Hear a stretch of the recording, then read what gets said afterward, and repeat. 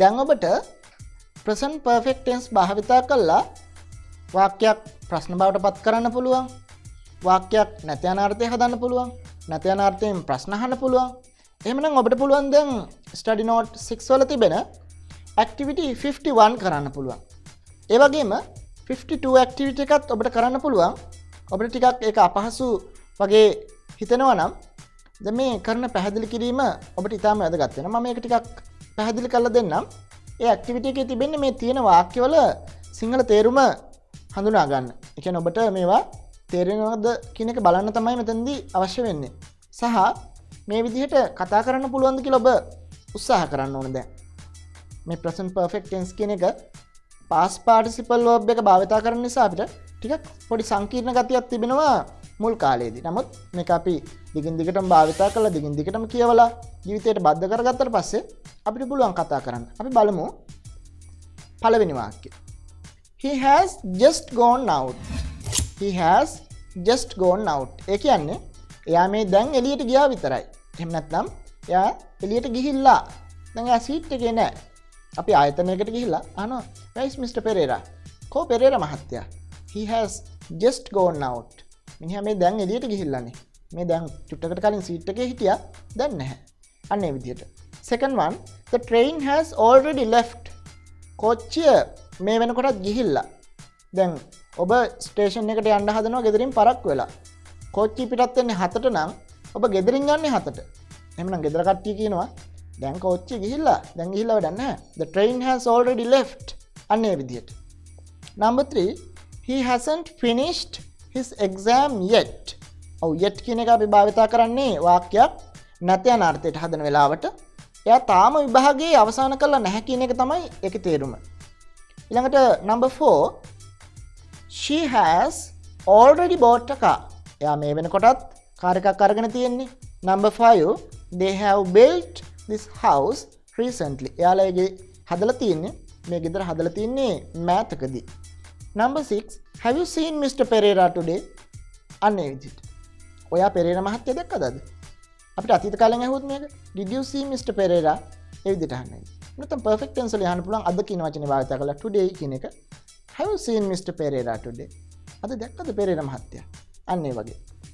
එලට බන්ඩ නම්බසවන් it has rain heavily last night. දැ ඔබ නිදාගෙන උදේ නැගටිනකොට මිදුලේ වතුර පිරිලා හයියෙන් වැහල තිබෙනොර එනම් ඔබ කියනවා ඉර හරියට වැහල තියෙනවනේ. හයියෙන් වැහලා ඊර ඒතකොට අපි කියන්නේ it has rained heavily last night. Heavily කියන්නේ තදින් වැහලා. හෙවිලි කියන්නේ ඇඩ්ඩෝ එකක් වැහපු විදිය විස්තර කරන වචනයක්. ඊළඟට බලන්න number 8 many people have gone abroad this month. මේ මාසේ හුඟක් මිනිස්සු රට ගිහිල්ලා. Number 9 the prices of goods have increased this year. මේ අවුරුද්දේ බඩුවල මිල ගණන් ඉහළ ගිහිල්ලා. Number 10 we haven't got rain for the last three months. For the last three months. පහුගිය මාස තුන පුරාවටම මාස තුන තිස්සේම අපට වැසි ලැබිල නෑ we haven't got rain.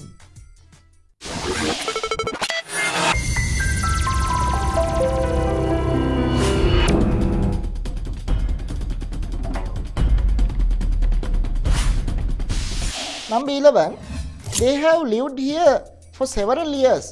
එකගොලු ගොඩක් කල් මෙහ ජීවත් වෙලා තිනවා. අපි කවරුහරි ගැන කතා කරනකොට අන්නේ වගේ භාවිතා කරනවා. එලට බන්න number 12 she has been ill since last Monday. She has been ill. එයාට අසනීප වෙලා ඉඳලා තියෙනවා පහුගිය සඳු දයිඳලා සින්ස් කිව සිට කියන එකෙන. Since last Monday.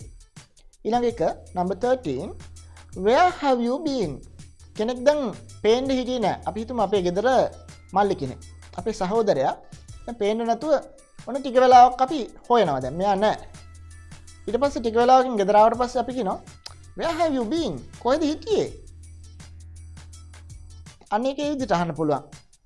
ඊළඟට I haven't finished my letter yet. මම්මගේ ලියුම තාම ඉවර කල්ලා නෑ.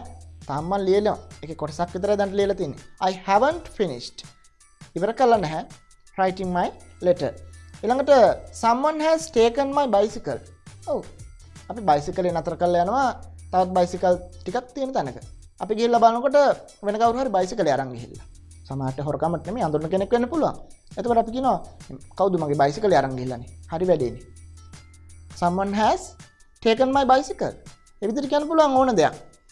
සම්මන් හැස් ටේකන් මයි අම්බෙල්ලා හරි වැඩේන. කවුද මගේ කුඩේ අරන් හිල්ලන සම්මන් හැස් ටේකන් මයි අම්බෙල්ලා අන්න විදිට කියන්න පුළුවන්.